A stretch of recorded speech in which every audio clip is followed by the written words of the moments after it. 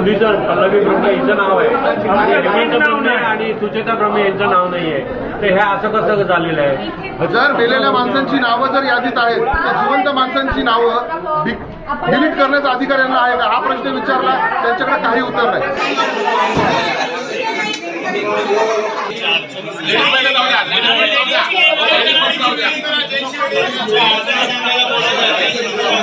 मतदारांच्या या संतापाचं कारण आहे मतदार याद्यांमधील गोंधळ. मतदार यादीत नाव नाही मग काय? नागरिकांनी गोंधळ घातला.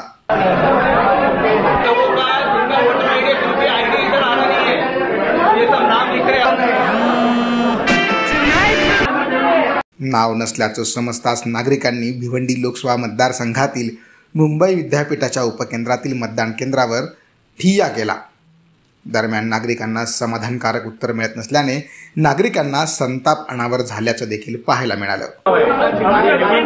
आणि सुचेता ब्रह्मे यांचं नाव नाही आहे तर हे असं कसं झालेलं आहे?